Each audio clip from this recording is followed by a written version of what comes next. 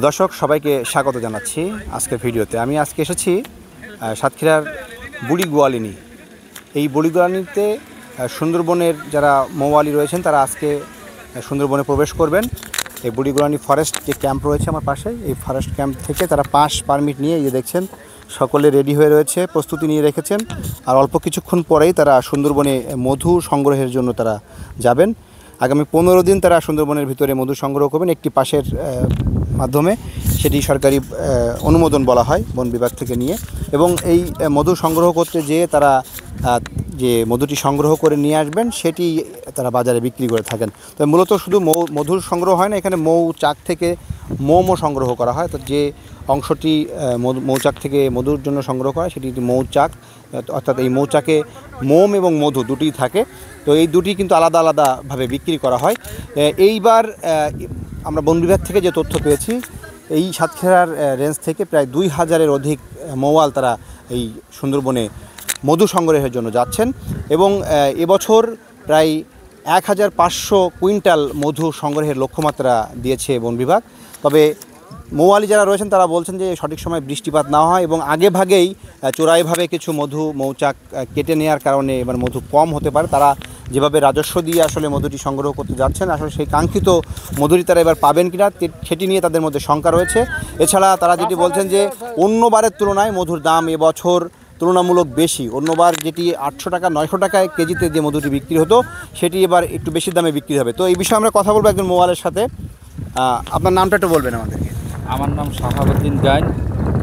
আমার ঠিকানা নীলডুমুর বুড়ি গোয়ালিনী আমরা প্রতি বছর মধু আহরণ করি এবং আমরা নিজ সঠিক যে মধুটা, মধু- মধুটার দাম আমরা নিজ মূল্যে পাইনি কারণ বিভিন্ন দিকের বিভিন্ন কোয়ালিটি করে, যার ফলে যারা মধুবাওয়ালি যারা সুন্দরবন মধু আহরণ করে, এদের কিন্তু সঠিক ন্যায্য মূল্যটা পাওয়া যায় না। এবছর আমাদের এলাকায় সুন্দরবনের যে সঠিক যে মধুটা, সেই মধুটা বিক্রি আছে বারোশো টাকা কেজি।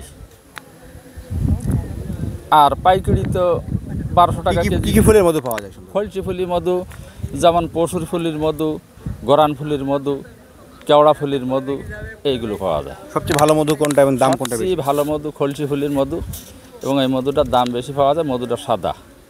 অনেক গাঢ় হয় আর। আচ্ছা এই আপনাদের এইবার যে যাচ্ছেন আপনারা আপনাদের কেমন খরচ হয় একটা নৌকাতে নৌকা নিয়ে যেতে এবং এখানে যারা বন বিভাগ রয়েছে তারা পাস নেয় সরকারি রাজস্ব নেয় সেটা দিয়ে কেমন খরচ হয় সেটি নিয়ে লাভ হয় কিনা বা আপনাদের তো বাঘের হাতে অনেকে প্রাণ যায়। আমরা গত বছরও দেখেছি যে কয়েকজনের প্রাণ গেছে বাঘের হাতে মধু সংগ্রহ করতে যে। তো সব মিলিয়ে রিস্ক নিয়ে যাচ্ছেন কেমন খরচ হয় এবং সেখান থেকে কি পরিমাণ মধু নিয়ে আসতে পারেন? খরচ তো অনেক বেশি হয় একটা নৌকো ছয় ষাট সত্তর লাখ হাজার টাকা। এখন বর্তমান আমার নৌকোটা সত্তর হাজার টাকা খরচা। কিন্তু মধু তো সর্বপ্রথমে মধু খুবই কম হয় কারণ বিভিন্ন চড়াই বিভিন্ন এতে জেলি বাওয়ালিরা কাটে। এখন আমরা যাব প্রথম টিপি মধু আশা করা যায় না যে ভালো পাবো। তারপরে আল্লাহ ভরসা আর কি। হয়তো অনেকের চালান উঠতেও পারে আবার কারও একটু বেশিও হলে হতেই পারে। বাঘ রয়েছে সাপ রয়েছে বাঘ সাপ সবাই জীবনে ঝুঁকি নিয়ে যাচ্ছেন। জীবন বাজি রাখতে হয়। সমস্ত জায়গায় এখন এই যে নৌকোয় উঠবো সুন্দরবনে যাব সম্পূর্ণটা জীবন বাজি আল্লাহ আল্লাহ ভরসা। সুস্থভাবে ফিরে আসতে হ্যাঁ বাঘ আছে কামড় কুমির সুন্দরবনে সাপ সকল প্রকারের হিংস্র আছে। ধন্যবাদ, আপনারা ভালোভাবে ফিরে আসেন, এটা কামনা করি। তো শুনছিলাম এখানকার একজন মোবাইলের কাছ থেকে, আসলে তাদের জীবনটা কতটা ঝুঁকি নিয়ে তারা এই মধুগুলো সংগ্রহ করে। আমার পাশে দেখতে পাচ্ছেন এই মানুষগুলো, তারা বাড়ি থেকে কিন্তু একবারে বিদায় নিয়ে এসেছেন। প্রত্যেকেই তাদের বাড়ি থেকে একবার বিদায় নিয়ে তারা সুন্দরবনে যাচ্ছেন, কারণ জানেন না তারা আসলে সবাই ফিরে আসতে পারবেন কিনা, কারণ বাঘের আক্রমণে প্রতি বছরই অনেক যারা মোবাইল রয়েছেন, তারা কিন্তু আক্রান্ত হন এবং অনেকের মৃত্যু হয়। আমরা এমন বিগত বছরগুলোতে আমরা সেটি দেখেছি। তো এবছর আমরা যেটি দেখছি যে এবার অনেকেই প্রস্তুতি নিয়ে যাচ্ছেন এবং তাদের সম্পূর্ণ যে গোজ গাছ, এখানে বাজারঘাট করে তারা পনেরো দিনের জন্য সুন্দরবনে থাকবেন। পনেরো দিন মধু আহরণ শেষে আবারও ফিরে এসে আবার নতুন করে পাশ নিয়ে আবারও তারা যাবেন। এভাবে মোট চারবার তারা যেতে পারেন প্রতি পনেরো দিন পর পর। দুই মাস তারা মধু সংগ্রহ করতে পারবেন। এবং এবছর বন বিভাগ থেকে যেটি বলা হচ্ছে, তারা প্রায় তিরিশ লাখ টাকা এই মধু সংগ্রহকালীন সময় থেকে রাজস্ব আয় করতে পারবেন, এমনটি তারা বলছেন। সব মিলিয়ে বন বিভাগ থেকে এবছর যে রাজস্ব লক্ষ্যমাত্রা এবং মধু এবং মোম আহরণের যে লক্ষ্যমাত্রা নির্ধারণ করা হয়েছে, সেটি এক হাজার পাঁচশো কুইন্টাল। তো সেই মধু নিয়ে আসলে কবে তারা ফিরবেন সেটি দেখার বিষয়। তখন আরও আসলে আরও ভালো বিস্তারিত তথ্য দেওয়া যাবে। তখন কি পরিমাণ মধু তারা সংগ্রহ করছেন, দামটি তখন কেমন পড়ে? সংগ্রহের উপরে আসলে মূলত দামটি নির্ধারণ হয়। এখানে সুন্দরবনে কয়েকটি ফুলের মধুর বিশেষত খলিশা ফুলের মধুটি সবচেয়ে দামে বেশি বেশি দামে বিক্রি হয়। এরপরে রয়েছে পশুর ফুলের মধু, গেওয়া, গরান, এছাড়া কেওড়া ফুলের মধু ধাপে ধাপে আসলে এই ফুলের মধুগুলো তারা সংগ্রহ করে থাকেন।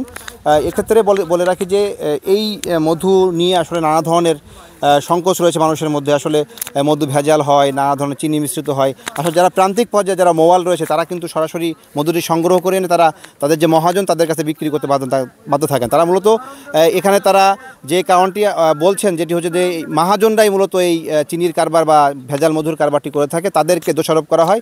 যদিও তারা ন্যায্য মূল্যে তারা মধুটির প্রক- প্রাকৃতিক যে চাকের যে মধু, সেটি তারা সংগ্রহ করে, তারা মহাজনকে সরবরাহ করে থাকেন। তো এরপরে আসলে মধুটি কয়েকটা হাত বদলে আসলে বাজারে যায় যে কারণে এখানে সমস্যা তৈরি হতে পারে। তবে সরাসরি যারা মোবাইল রয়েছেন, তারা কখনও এ ধরনের ভেজাল কাজের সাথে জড়িত নন। তারা সরাসরি প্রাকৃতিক যে মধুটি, তারা কিন্তু সেটি, তারা অনেকটা কম মূল্যে, তারা যে রিস্ক নিয়ে আসলে সুন্দরবনে যান, তার চেয়ে অনেকটা কম মূল্যে তারা এই মধুগুলো বিক্রি করে থাকেন। কারণ দাদন নিয়ে তারা সুন্দরবনে যাচ্ছেন, মহাজনের কাছে তারা জিম্মি থাকেন, মহাজনের কাছ থেকে তারা অর্থ নিয়ে তারা এই সুন্দরবনে যাচ্ছেন এবং এই